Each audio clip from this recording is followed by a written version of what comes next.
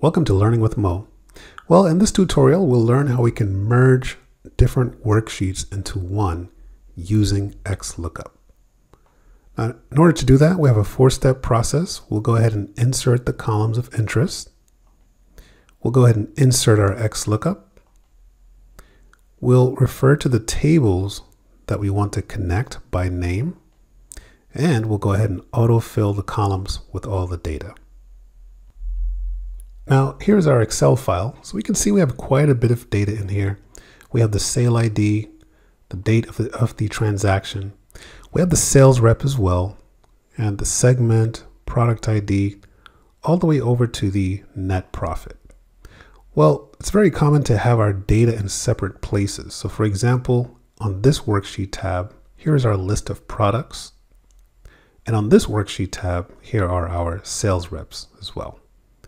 So if we wanted to maybe create a pivot table and generate some more comprehensive reports, we may want to go ahead and include something like the actual name of the product as opposed to just the product ID. We also maybe want to go ahead and insert the country based on the actual sales rep. So I'll go ahead and do that. I'm going to go ahead and insert a column here. So here's our tasks. We're going to get the country from the sales rep table based on the sales rep. So I'll insert a column here, and this will be for the country.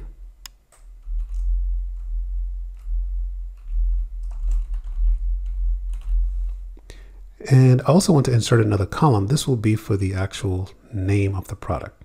So I'll insert a product here, insert a column here rather. And this will be for the actual product.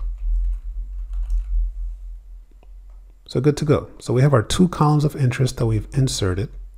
Now the next thing for us to do is to insert our XLOOKUP statement. And then we'll go ahead and answer all of the parameters here as well. So remember for the first one, we want to return the name of the country based on the sales rep.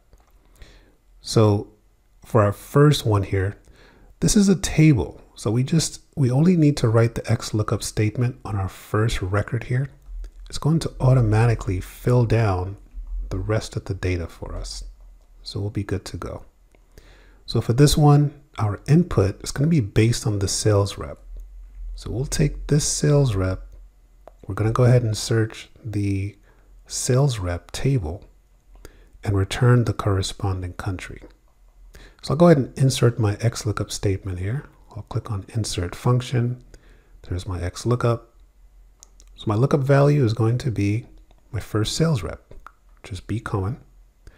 Now my lookup array, I could do this. I could go to the sales rep table.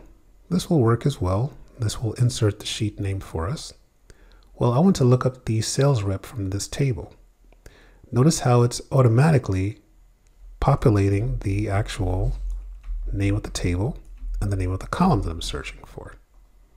So what I can do, instead of navigating to that worksheet, I can also type the name of the, the table here. And in brackets, I want to return the actual country. So there is the country column. And I'm good to go. We can see it's already returning Germany for us. So I'm good to go. I'll go ahead and press OK. And there you go. So it automatically populates all of the countries based on the match and the sales rep column. So one down, one to go. We need to go ahead and return the product based on the product ID. This time, let's take a look at the products table. We can see that the name of, the, of this table here is called products. So we can go ahead and refer to the name of the table and then the name of the column. So this time we, we will not even need to navigate to the actual products worksheet tab. So I'll go back to financials here and I'll click on my first product here for the first row. I'll go ahead and insert my XLOOKUP here again. So this time it's actually based on the product ID. Where can I find those IDs? Well, it's going to be the products table.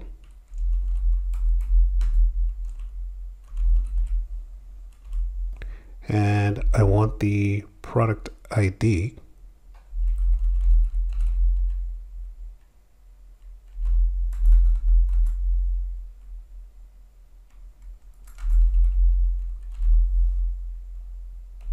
There we go. And then we want the return array. So same thing, name of the table, and in brackets, I want the actual product. And there we go. So it's going to pull in the product for me and I'm good to go. I'll go ahead and press OK. And there you go. So that's how we can, even though the data set that we're merging is on a different worksheet, the beauty of XLOOKUP is that we can merge the data from different worksheet tabs. As a matter of fact, in the next tutorial, we'll see how we can merge data from other Excel files using XLOOKUP into a single file here as well. Well, now we're good to go. We have a lot of columns here that we can analyze data based on. Date, sales rep, country, segment, product name, and of course, our profit as well. Good to go.